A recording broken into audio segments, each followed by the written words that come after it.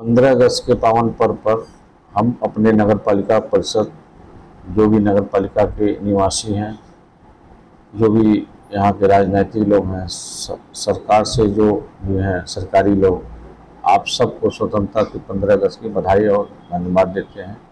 स्वतंत्रता अगस्त पर ये हम कहना चाहते हैं कि जो नगर की व्यवस्था साफ़ सफ़ाई सुदृढ़ करने की है, वो हमारी ज़िम्मेदारी है।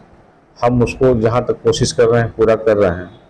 और आगे भी जो प्रक्रिया रही करेंगे, अपने कर्मचारियों से भी जो हो पा रहा है, उसको कराया जा रहा है। जो नहीं हो पा रहा है, जनमानस से अनुरोध है समय समय पर अवगत कराते रहें, जिससे नगर पालिका परिषद की पूरी सफ़ाई सुदृढ़ हो सके।